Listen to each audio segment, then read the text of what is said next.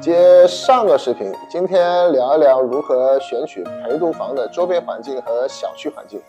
其实啊，陪读房周边的环境的选址呢，就是协调人与环境之间的关系，让环境能够为自己所用。这就好比人选衣服是一个道理。首先呢，要了解自身的需求，根据自己的身高、体重、肤色、职业、性别。以及出席某种场合的需求来选择自己的搭配呢，一定是最得体的。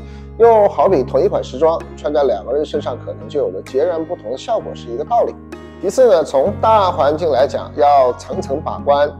陪读房的周边环境呢，要尽量的避开以下这些因素，像医院、墓地、安全事故突发地。强噪音污染、强光源、强光电子显示屏，以及工厂、公共卫生间、养殖场、屠宰场、电线杆，以及大型的信号发射塔等等这些不利的环境，尽量去避开。第三呢，要量体裁衣，避开以上的这些不利环境以后呢，就一定得按考生的类别选房，因为文理科生、体育生、艺术生的五行喜好呢，一定是不同的。所以要以学校为中心，按考生的喜好类别来选取方位。楼栋、楼层、房号以及房子建造的年代呢，也都是重要考虑因素。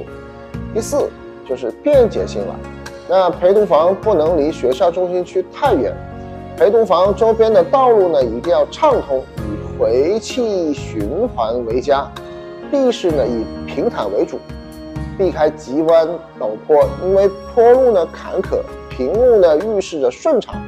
总而言之啊，一切从需求出发，让一切的地理环境呢能够为自己所用，才能充分的发挥人与房子的最佳兼容性。下个视频咱们接着聊。